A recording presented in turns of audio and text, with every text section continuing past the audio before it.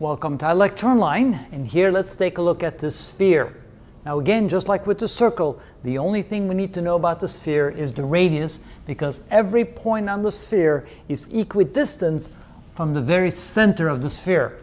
Now when we try to find the volume and the surface area, they're pretty straightforward. Of course, most of us don't quite remember the surface area of a sphere.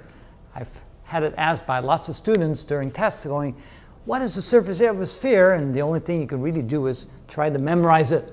But for the volume, it turns out the volume of a sphere is equal to 4 thirds pi r cubed.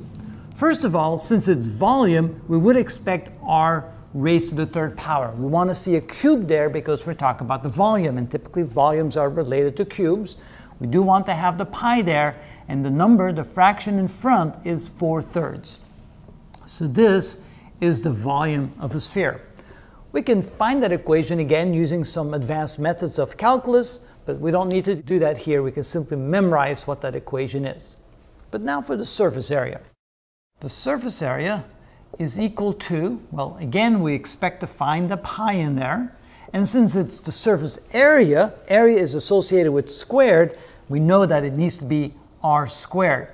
Now the question is what number goes in front there and that you simply have to memorize.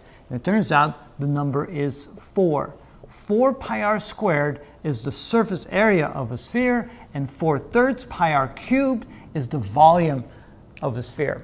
Hmm.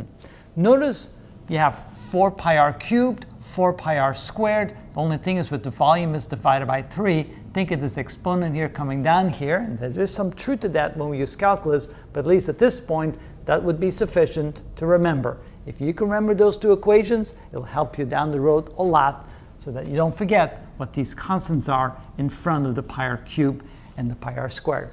And that's how we do that.